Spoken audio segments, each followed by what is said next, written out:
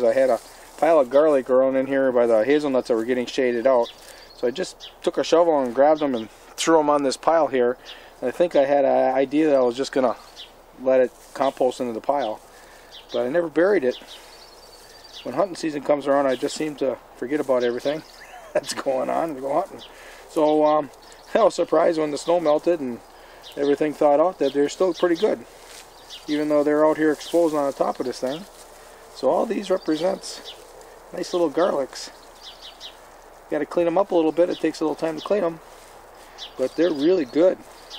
Actually pretty hot too. So instead of running to the store and buying garlic, I'd rather spend just a little bit of time cleaning these.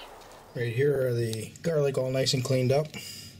Sometimes that, that bulb there is soft, so I just strip that off and then you'll have just a little little stick. Let's see if I can like it right here. No, that's not one. Here's one. No. No, I did a couple. Here's one right here. So the bulb would be really soft, so I just stripped the bulb off. And this inner inner core is also edible.